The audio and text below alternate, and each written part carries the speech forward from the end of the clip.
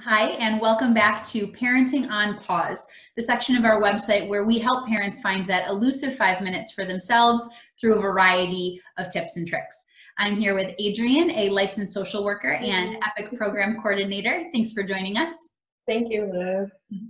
And today we are going to talk boundaries. So, first of all, parenting right now is more 24 7 than it has ever been. Parents are exhausted. Um, but the idea of setting boundaries still seems to come with a lot of guilt for parents, thinking that they yeah. need to be on all the time. What would you say to parents who maybe want to set some boundaries or take some time for themselves but feel bad doing so?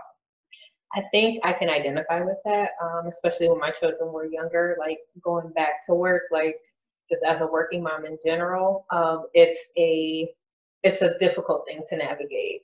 Um, however, even with the guilt, you still deserve to have time to yourself, even though right now this is a very unique time. So if you have, um, you know, if you have like maybe newborns to that one to two age, newborns, you may want to take some time to yourself, you know, when they go down for a nap. And if that means you nap too, that's fine. Um, versus, you know, cleaning up something or getting some extra work done just know that when your your newborn naps, like you should be, you know, you should be sleeping too. For the toddlers, when they start to get to that 18 month, um, maybe to that, I want to say like that two or three age, it can be a little bit more difficult. The easiest thing to do though is kind of get on their level and explain what's going on. You know, mommy or daddy, you know, I'm working now in the living room. Um, when we have lunch, we'll have, you know, we'll have lunch together. Or when you know, mommy comes out of the room, we'll do a story together. Just let them know what is happening um, during the day for the smaller ones because smaller kids, they don't have a really great concept of time. And then when they're like, I would say when they're like four, I want to say like four, five, and six, you still want to get on their level and still let them know that you do have work to do and that you do value spending time with them but again, you kind of want to set the expectation of how that's going to go for your home. Um, you want to just give them signals, which is important to let them know what's what's going to happen when. That usually makes children feel a little bit uh, more secure because right now, school, which is one of the like primary things that kids do, is not happening right now. So that can cause kids to have a bit of anxiety. And then now you're home all the time, so things are changing. And it's helpful if you talk to kids in the house about how things are kind of going to go. Um, when they're older, I think when they're like seven, eight, nine, and up, you can just have a conversation, you know, with them about what's going on. I think with teenagers, they kind of have an idea if you're, you know, working in the living room or what's happening. Um, I know sometimes they may not. I think the thing with teenagers is sometimes they're just not aware.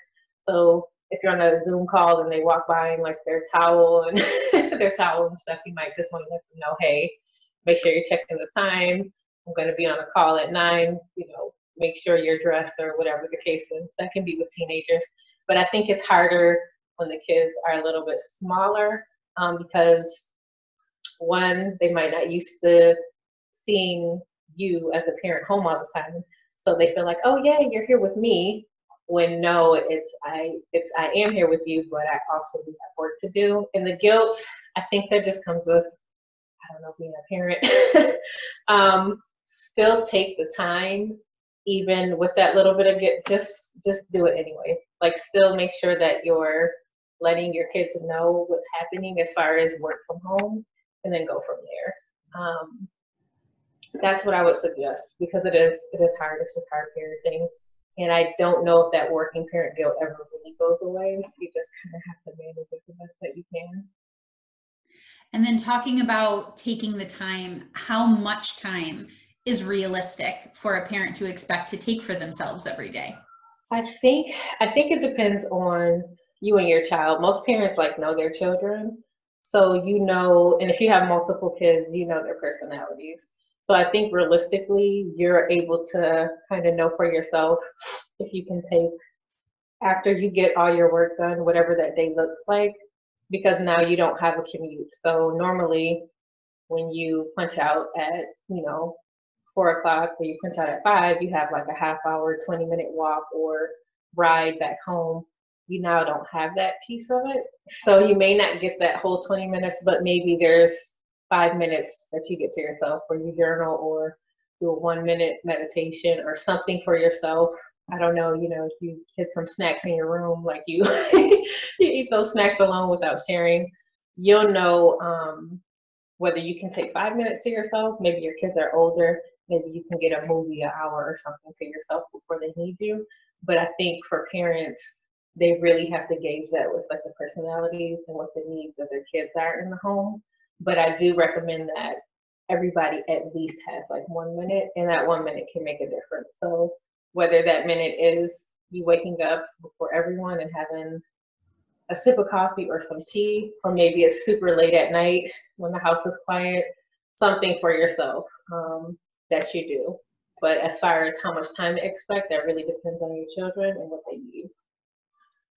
And then we've said it so many times on this channel in so many different ways, but the importance of taking that time for yourself. What are some of the benefits, or why is it important that parents find that even 30 seconds to a minute for themselves periodically throughout the day? So, first, it will help you parent better because it'll improve your mood. So, even with um, everything that's going on, all these external factors and a lot of unknowns, just taking time to 30 seconds to a minute it makes all the difference. It will help you be like less irritable um, with your kids because now they're constantly like around. It'll give you a moment to kind of center yourself. And I think that even after two or three days of just taking a minute to yourself, you'll recognize that you're not as, you know, oh, I'm not as irritable. Things aren't bothering me, you know, as much. Oh, the kids are all yelling at each other, but for whatever reason, I'm not you know, upset about it. So that's that's the most important thing about taking that minute and taking those moments for for yourself. Um, the other thing I want to say is you deserve to have that time to yourself. You're worthy of taking care of yourself um, at this time, and even when we come through the other side of this, whatever that looks like.